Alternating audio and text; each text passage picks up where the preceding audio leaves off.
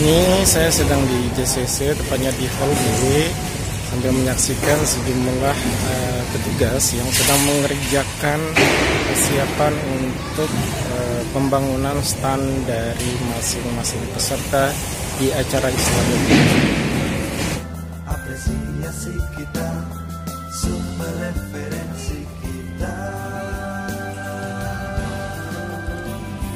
Islami bangun generasi cerdas dan Islami, Islami bangun inspirasi, temukan potensi. Islami